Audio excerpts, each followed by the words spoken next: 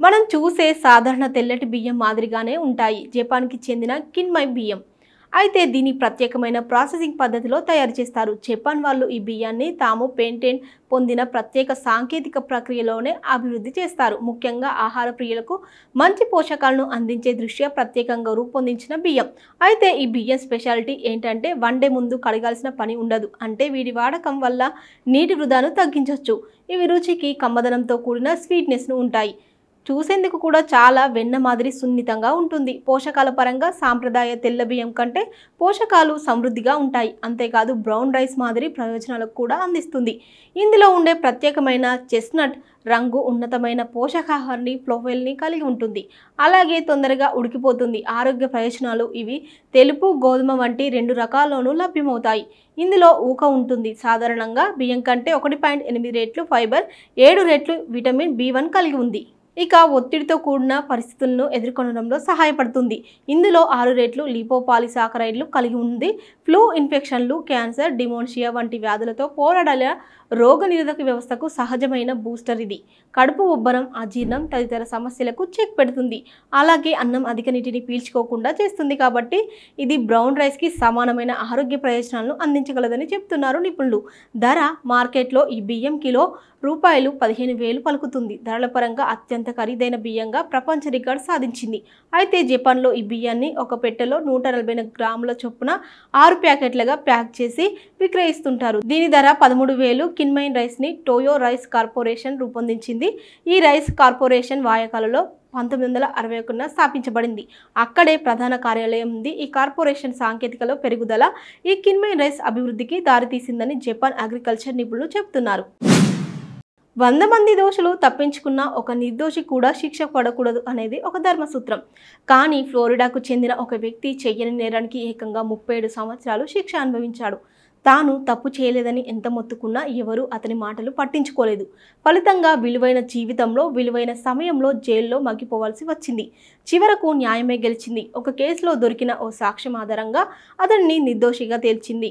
ఈ తప్పిదం దొరికినందుకు గాను అతనికి నూట పదహారు కోట్ల రూపాయల భారీ పరిహారాన్ని చెల్లించాలని కోర్టు ఆదేశించింది. అసలు ఏమైందంటే లైంగిక దాడి హత్య వంటి ఆరోపణలపై ఫ్లోరిడాకు చెందిన రాబర్ట్ డూమోయిస్ను పంతొమ్మిది వందల ఎనభై రెండులో పోలీసులు అరెస్టు చేశారు. అప్పటికి అతని వయసు పద్దెనిమిది ఏళ్ళు మాత్రమే. పంతొమ్మిది ఏళ్ళ బార్బర్గా గ్రామ్ను అత్యాచారం చేసి చంపేశాడంటూ అభియోగాలు నమోదనయ్యాయి ఈ కేసులో విచారణ అనంతరం అమెరికాలోని ఒక కోర్టు తొలుత అతడికి కోర్టు మరణశిక్ష విధించింది. ఇన్నోసెన్స్ ప్రాజెక్ట్ ఆర్గనైజేషన్ సహాయంతో అతని శిక్షను రెండు వేల పద్దెనిమిదిలో దాన్ని యావజావ శిక్షగా మార్చింది. ఇక చివరకు తప్పుడు నేరాపరణ కేసులను వాదించడంలో అపారమైన అనుభవం ఉన్న చికాగోకు చెందిన పౌర హక్కుల సంస్థ లోవి ఈ కేసులో జోక్యం చేసుకొని ఈ కేసులో బాధితుడి ప్రమేయం లేదని నిరూపించడంలో అతనికి విముక్తి లభించింది. పంతొమ్మిది వందల ఎనభైలో అందుబాటులోని ఆధునిక కాలంలో అందుబాటులోకి వచ్చిన డిఎన్ఏ టెస్టు ద్వారా నిర్దోషిగా తేలాడు. రెండు వేల ఇరవై ఆగస్టులో ఫ్లోరిడా జైలు నుండి విడుదలయ్యాడు. కొంతకాలం తర్వాత రాబర్ట్ డొమోయస్ తనకు జరిగిన నష్టానికి న్యాయం కావాలంటూ పోరాటానికి దిగారు. టంపానగరం అధికారులు విచారణలో పాల్గొన్న పోలీస్ అధికారులు ఫోరెన్సిక్ దంతవైద్యుడిని పై కోర్టును ఆశ్రయించాడు. దీన్ని విచారించిన అమెరికా కోర్టు అతడి వాదనను సమర్థించింది.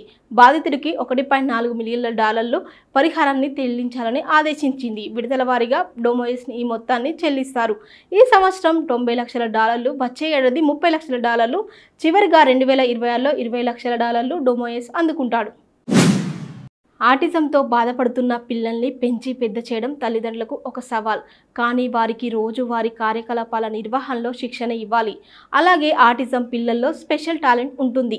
దాన్ని గుర్తించి ప్రత్యక్షణ శిక్షణ ఇస్తే బాగా రాణిస్తారు. దీనికి ఉదాహరణలు చాలానే ఉన్నాయి. తాజాగా తన బిడ్డ డ్యాన్స్ ప్రదర్శన కోసం తపన పడుతున్న ఓ తల్లి వీడియో ఒకటి ఇంటర్నెట్లో ఆసక్తికరంగా మారింది. ఒక తల్లి తన ఆటిజం బిడ్డకు నృత్య పోటీలో ప్రదర్శన ఇవ్వడానికి సహాయం చేస్తుంది అంటూ అపర్ణ అనే యూజర్ ఎక్స్లో ఒక వీడియోను షేర్ చేశారు. ప్రత్యేక పిల్లలను పెంచడానికి అనుభవించే బాధ సహనం ఎంత అంకిత భావం అవసరమో ఊహించని కూడా ఊహించలేం. హ్యాట్సప్ అంటూ వ్యాఖ్యానించారు. ఈ వీడియోలో ఆటిజంతో బాధపడుతున్న ఒక బాలిక స్టేజ్పై శాస్త్రీయ నృత్యాన్ని ప్రదర్శిస్తూ ఉంటుంది. అక్కడే ఆమెకు ఎదురుగా కూర్చున్న తల్లి స్వయంగా ఆయా భంగిమలను చూపిస్తూ ఉంటుంది. దానికి అనుగుణంగా ఆ పాప తన డ్యాన్స్ను కొనసాగిస్తుంది. ఈ వీడియో ఇప్పుడు వైరల్గా మారింది. ఇక ఆటిజం అనేది చిన్నపిల్లల్లో ఏర్పడే ఒక మానసిక స్థితే కానీ రుగ్మత కాదు. తల్లి గర్భం దాల్చిన సమయంలో ఆమె మానసిక స్థితిని బట్టి లేదా మేనరికం కొన్ని జన్యుపరమైన కారణాలతో ఈ సమస్య వచ్చే అవకాశం ఉంది. చెప్పిన విషయాన్ని సరిగ్గా అర్థం చేసుకోలేకపోవడం ఎవరితో అయినా మాట్లాడే సమయంలో కళ్ళల్లో కళ్ళు పెట్టి చూడకపోవడం చేసిందే మళ్ళీ మళ్ళీ చేస్తుండడం ఒక పనిని ఎప్పుడు చేసినా తిరిగి అలాగే చేయాలని ప్రయత్నించడం కొందరు సంతోషం కలిగితే చేతులను కాళ్ళను పైకి కిందికి అదే విధంగా ఆడించడం. చెప్పిన పని చేయకపోవడం నేలపై నడిచేటప్పుడు నిటారుగా నడవకుండా వేళ్ళపై నడవడం లాంటి లక్షణాలు ఉంటాయని అంటున్నారు నిపుణులు. ఇలాంటి సమస్యలు చిన్నపిల్లల్లో జన్మనించిన మూడు సంవత్సరాల నుండి మొదలయ్యే అవకాశం ఉంటుందని ఇలాంటి లక్షణాలున్న తల్లిదండ్రులు కనుగొన్నట్లయితే వెంటనే మానసిక వైద్య నిపుణులను సంప్రదించి చికిత్స అందించాలి. లేకపోతే సమస్య తీవ్రత పెరిగే అవకాశం ఉంటుంది. రాజస్థాన్లోని జైపూర్లో నకిలీ ఆభరణాన్ని స్వచ్ఛమైన బంగారు నగలుగా నమ్మించి ఒక అమెరికన్ టూరిస్ట్ మహిళను ఏకంగా ఆరు కోట్లకు ముంచేసిన వైనం దిగ్భ్రాంతికి గురిచేసింది మూడు వందల రూపాయల విలువైన బంగారు పూత పూసిన వెండి నక్లెస్ గోల్డ్ నక్లెస్గా నమ్మించాడో నగల వ్యాపారి. తర్వాత విషయం తెలుసుకున్న ఆమె పోలీసులకు ఫిర్యాదు చేయడంతో ఈ మోసం వెలుగులోకి వచ్చింది. ఈ నేపథ్యంలో అసలేదో నకిలీ ఏదో ఎలా తెలుసుకోవాలి? కృత్రిమ బంగారు ఆభరణాలు ఎలా గుర్తించాలి? తెలుసుకుందాం రండి. అందం స్టేటస్ కోసమో భవిష్యత్తు అవసరాల కోసమో ప్రజలు తరచుగా బంగారు ఆభరణాలను కొనుగోలు చేస్తారు. బంగారం ధర ఎప్పుడు ఖరీదైందంటే కాబట్టి మోసాలకు చాలా అవకాశం ఉంది. అందులోనూ ఈ మధ్యకాలంలో నిజమైన బంగారంలా మరిపిస్తున్న ఇమిటేషన్ జ్యువెలరీకి ఆదరణగా పెరుగుతుంది. అందుకే అసలు బంగారాన్ని నకిలీ బంగారానికి తేడాను గుర్తించడం చాలా కీలకం. ఆభరణాల నిపుణులు అనుభవజ్ఞులైన పెట్టుబడిదారులు బంగారం నిజమో కాదో సులువుగా గుర్తిస్తారు. నిజానికి కాస్త పరిశీలిస్తే అసలు బంగారాన్ని నకిలీ బంగారాన్ని గుర్తించడం ఎవరికైనా పెద్ద కష్టమేమి కాదు. మెరిసే ప్రతిదీ బంగారం కాదు. పసుపు రంగులో కనిపించే ప్రతిదీ బంగారం కాదు. బంగారం పెద్దగా మెరవదు. నిజమైన బంగారం అందమైన మృదువైన పసుపు రంగులో ఉంటుంది. ఎరుపు రంగు కలిసిన పసుపు రంగులో ఉన్న బాగా మెరుస్తున్న అనుమానించాలి. ఇక hallmark bureau of Indian standards జారీ చేసే హాల్మార్క్ ధృవీకరణను తనిఖీ చేయడం బ్రాండ్ కొన్ని రకాల బ్రాండ్లు నాణ్యతకు మారుపేరుగా ఉంటాయి. అలాంటి బ్రాండ్కి చెందిన లోగో పేరు అక్షరాలను శ్రద్ధగా గమనించాలి. గోల్డ్ మ్యాగ్నెట్ టెస్ట్ నకిలీ బంగారం లేదా బంగారు మిశ్రమాలు తక్షణమే అయస్కాంతానికి ఆకర్షితులవుతాయి. ఇది అంతర్లీన లోహం యొక్క నిజమైన స్వభావాన్ని వెల్లడిస్తుంది.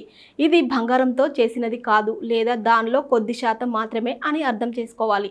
స్వచ్ఛమైన బంగారంలో అయస్కాంత మూలకాలు ఉండవు. యాసిడ్ టెస్ట్ వివిధ కెమికల్స్ యాసిడ్ని కూడా బంగారాన్ని గుర్తించడానికి ఉపయోగిస్తారు. బంగారు ఆభరణాల నెట్రిక్ టెస్ట్ చేయడానికి బంగారంపై కొన్ని చుక్కల నైట్రిక్ యాసిడ్ వేయండి. ఆభరణాల రంగులో మార్పు రాకపోతే అది బంగారం అని నమ్మవచ్చు. మెటీరియల్ని రాళ్ళను బాగా పరిశీలించడం. ఆభరణాల్లో ఉపయోగించే మెటీరియల్పై చాలా శ్రద్ధ వహించాలి. అలాగే ఆభరణాల్లోని రాళ్ళను స్ఫటికాలను నిశితంగా గమనించాలి. ఇమిటేషన్ జ్యువెలరీ బరువును గమనించాలి. ఫినిషింగ్ చెక్ చేయాలి. పేలవైన ఫినిషింగ్ లేదా అంచులు గరుకుగా ఉన్న అనుమానించాలి. తక్కువ ధర మనీ భవ్యపెట్టిన బంగారు ఆభరణాలను తక్కువ ధరకే ఇస్తున్నాం అంటే ఖచ్చితంగా అనుమానించాలి. నిజానిజాలను నాణ్యత బరువును నిర్ధారించుకోవాలి. తొందరపడి అసలు మోసపోకూడదు. సాధారణంగా ఇక కలిసి జీవించడం అసాధ్యం అనుకున్నప్పుడు మాత్రమే భార్యాభర్తలు విడిపోయేందుకు నిర్ణయం తీసుకుంటారు. ఎప్పుడైనా ఎక్కడైనా తారసపడినా కూడా ఒకరినొకరు పట్టించుకోరు. అంటి ముట్టనట్టే ఉంటారు. కనీసం పలకరించి కూడా పలకరించుకోరు. భార్యాభర్తలుగా విడిపోయిన తర్వాత కూడా హుందాగా స్నేహంగా ఉంటున్న జంటలు కూడా చాలానే ఉన్నాయి. కానీ విడాకులు తీసుకున్న పుష్కరకాలం తర్వాత కలిసి మళ్ళీ ఒకటయ్యారు. యూపీలోని రాంపూర్లో ఈ ఆసక్తికరమైన ఉదంతం చోటు చేసుకుంది. యూపీలోని ఇమ్రత గ్రామానికి చెందిన అధికారి అలీకి రాంపూర్కు చెందిన అమ్మాయితో రెండు వేల నాలుగులో వివాహం జరిగింది. వీరికి ముగ్గురు కుమార్తెలు ఒక కుమారుడు ఉన్నారు. అయితే వీరి మధ్య తలెత్తిన వివాదాలు తారస్థాయికి చేరడంతో పెళ్ళైన ఎనిమిదేళ్ళకు విడాకులు తీసుకున్నారు. అమ్మాయి తల్లి వద్ద కొడుకులిద్దరూ తండ్రి వద్ద పెరుగుతున్నారు. ఇక ఇద్దరు మరో పెళ్ళి చేసుకోకుండా పిల్లలే ప్రాణంగా జీవితాన్ని సాగిస్తున్నారు. అయితే దాదాపు పన్నెండేళ్ళ తర్వాత ఒక పెళ్ళి వేడుక వారి జీవితాన్ని మార్చేసింది. ఇక పెళ్ళిలో అనుకోకుండా ఒకరినొకరు ముఖాముఖి కలుసుకున్నారు. ఆలి అతని భార్య ఇద్దరు ఒకరినొకరు చూసుకున్నారు. ఏదో తెలియని భావోద్వేగానికి లోనయ్యారు. భర్త కళ్ళ నుంచి నీళ్ళు కరడం చూసిన భార్య కూడా చెలించిపోయింది. తర్వాత ఇద్దరు మాట కలిపారు. ఒకరి నెంబర్లు మరొకరు తీసుకొని ఫోన్లో మాట్లాడుకోవడం మొదలుపెట్టారు. ఒకరి బాధల్ని మరొకరు మనస్ఫూర్తిగా పంచుకున్నారు. తమ మధ్య ప్రేమ పదిలంగానే ఉందని క్షణికావేశంతో వేసిన అడుగు తప్పని తొందరపడ్డామని పశ్చాత్తాపపడి మళ్ళీ కలిసి జీవించాలని నిర్ణయించుకున్నారు. మొత్తానికి ఒక శుభముహూర్తాన ఇద్దరు పెళ్ళితో మళ్ళీ ఒకటయ్యారు. అంతేకాదు స్వీట్ ఫ్యామిలీ అనుకుంటూ ఉత్తరాఖండ్ పర్యటన కూడా చెక్కేశారు. సోషల్ మీడియా పిచ్చితో మెట్రో రైళ్ళలో కొంతమంది తీరు అభ్యంతరకరంగా తోటి ప్రయాణికులకు ఇబ్బందికరంగా మారుతుంది. గతంలో వెలుగులోకి వచ్చిన ఘటనలు మర్చిపోకముందే తాజాగా ఢిల్లీ మెట్రోలో అమ్మాయిల డ్యాన్స్ వీడియో ఒకటి సోషల్ మీడియాలో వైరల్ అవుతుంది. సోషల్ మీడియాలో యూజర్ల రీల్స్తో గతంలో ఢిల్లీ మెట్రో వార్తల్లో నిలిచింది. ఈ నేపథ్యంలో మెట్రోలో రీల్స్ చేస్తున్న వారిపై కఠిన చర్యలు తీసుకుంటున్నప్పటికీ యువతి యువకుల ఆకతాయి పనులకు అడ్డకట్ట పడటం లేదు. ఢిల్లీ మెట్రోలో ఇద్దరు యువతులు కలిసి డ్యాన్సింగ్ వీడియోను ఇందుకు ఉదాహరణ.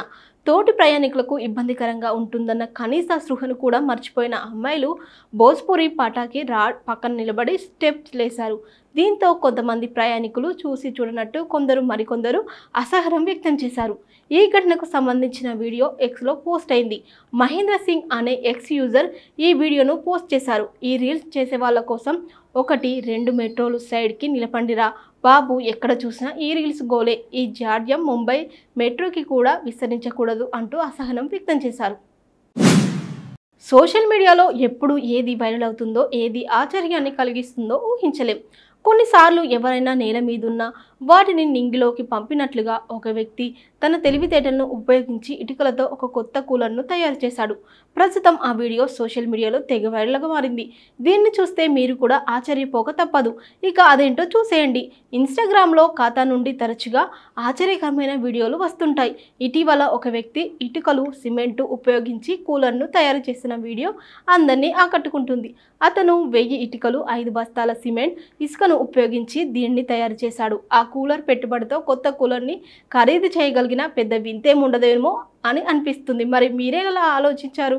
ఇక ఈ కూలరు వెయ్యి ఇటుకలతో చిన్న చిన్న సందులుగా వదిలి దానిపై నీటి పైపులను అమర్చాడు. కరెంటు లేకపోయినా చల్లగాలిని గదులకు అందించడమే దీని స్పెషల్. కూలర్ లోపలి భాగం మొత్తం సిమెంట్తో కూడి ఉంది. దీంతో లోపల నీరు ఎల్లప్పుడూ చల్లగా ఉంటుంది. మూడు వందల లీటర్ల నీటి సామర్థ్యాన్ని దీని ట్యాంక్ భరించగలిగేలా ఉంది. ఇది ఒక్కసారి ఫుల్ చేస్తే మూడు రోజుల వరకు నీటితో నింపాల్సిన అవసరం లేదు. కూలర్పై బాగాన ఫ్యాన్స్ను అమర్చి లోపల ఒక చిన్న పంపును సెట్ చేశాడు. ఈ పైపు కూలర్ అంతటా నీటిని వ్యాప్తి చేస్తుంది. ఇటుక తడిస్తే ఇక రోజంతా దాని నుండి చల్లగాలే వస్తుంది. వింత ఆలోచనతో కూడిన ఈ కూలర్ని చూసి అందరూ ఆశ్చర్యపోరక మానదు ప్రస్తుతం సోషల్ మీడియాలో ఈ వీడియోను ఇరవై ఎనిమిది లక్షలకు పైగా వీక్షించారు. ఆధునిక కాలంలో అవయవదానం సాధారణంగా మారిపోయింది. కానీ ఇంకా చాలామంది తన ప్రాణానికి ముప్పు వస్తుందేమో అని భయపడిపోతారు అవగాహన ఉన్నవారు మాత్రం ఒక కిడ్నీని లివర్లోని కొంత భాగాన్ని దానం ఇచ్చేందుకు ముందుకు వస్తున్నారు. కానీ డెబ్బై ఏళ్ళ బామ్మ తన ప్రాణాన్ని పణంగా పెట్టి మరి తన మనవడిని ఎలాగైనా రక్షించుకోవాలని తాపత్రయపడింది. ధైర్యంగా కిడ్నీని దానం చేసి నిస్వార్థ ప్రేమకు ప్రతిరూపంగా నిలిచింది. ఈ ఘటన మధ్యప్రదేశ్లోని జాబల్పూర్లో జరిగింది. వివరాల్లోకి వెళ్తే జాబల్పూర్లోని సిహోరాకు చెందిన యువకుడు గత కొంతకాలంగా కిడ్నీ సంబంధిత వ్యాధితో బాధపడుతున్నాడు. ఈ క్రమంలో చికిత్స తీసుకున్నప్పటికీ ఫలితం లేకపోయింది.